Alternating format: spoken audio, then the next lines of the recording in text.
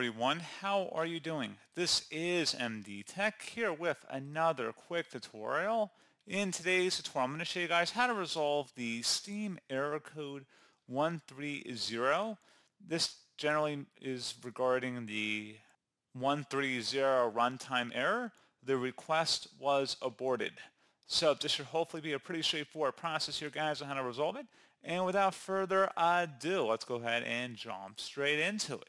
So all you have to do is open up the search menu, type in CMD, best match, come back with command prompt. Go ahead and right click on that and select run as administrator. If you receive a user account control prompt, you want to select yes. And now into this elevated command line window, you want to type in ipconfig followed by a space forward slash flush DNS. Flush DNS should all be one word attached to that forward slash out front.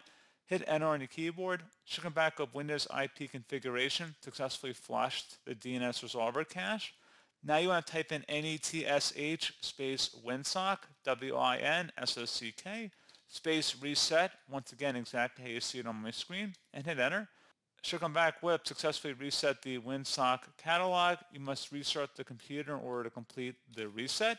At this point, go ahead and close out of here, and you want to restart your computer.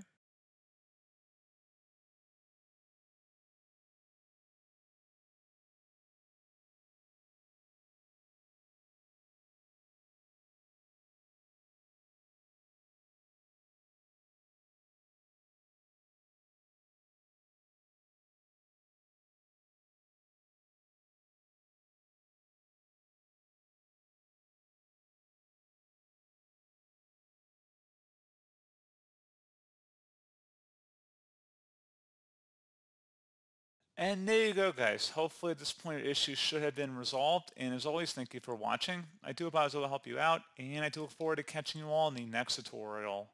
Goodbye.